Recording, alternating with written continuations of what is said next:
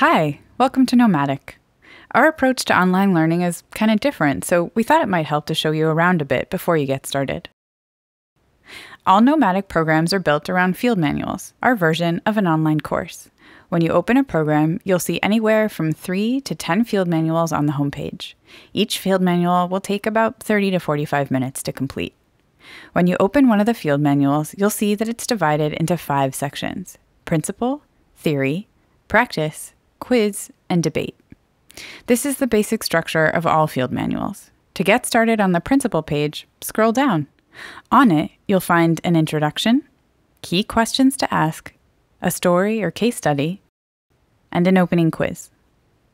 Once you finish, you can either click on the arrow to the right or on the tabs at the bottom of the page to move to the next section of the field manual. As you move through the rest of the sections, you'll find a combination of text, video, polls, quizzes, and social exercises. At first, they might seem a little random, but trust us, they're all there for a reason. Sometimes you might be asked to answer a quiz question about something you haven't studied yet. We do that on purpose too. Research shows that pre testing helps people learn faster and retain more of what they study.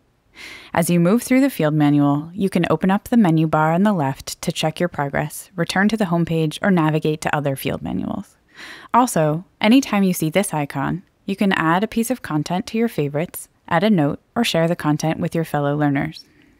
Back on the homepage, there's lots more to do. You can follow the activity of your group here and check out how you're doing in the leaderboard here. You can update your profile, check your stats, and access this help page here. And if you're studying more than one program, you can switch between programs here. Okay, that's about it. If you have more questions, check out the help topics below or give us a shout.